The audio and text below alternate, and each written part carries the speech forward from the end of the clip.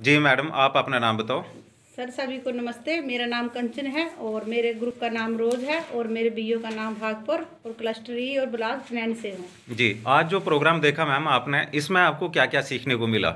इसमें हमें बहुत कुछ सीखने को मिला जैसे डॉक्टर मैडम ने बताया अभी नीलम दीदी ने आपको बताया इसके बारे में। एक तो ये सीखा हमने एक सिखाया हमें मार्केट के बारे में।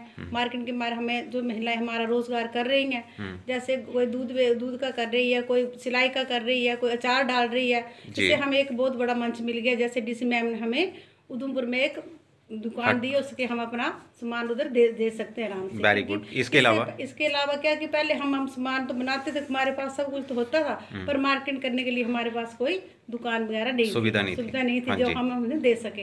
अभी हमें उधमपुर नज़दीक से हम अपना दे सकते दे सकते हैं। हैं एक इसके बारे में सुन और एक बताया हमें कोविड के बारे में। हाँ जी। कोविड के बारे में बताया कि हमें अपनी साफ़ सफ़ाई और ध्यान कैसे रखने। हैं। मास्क लगा के रखना भीड़ भाड़ में नहीं जाना है जैसे अपने बच्चों को भी समझाना है इसके बारे में और सभी महिलाओं को भी अगर हमें करना है तो इसके बारे में हमें इसके बारे में बताया।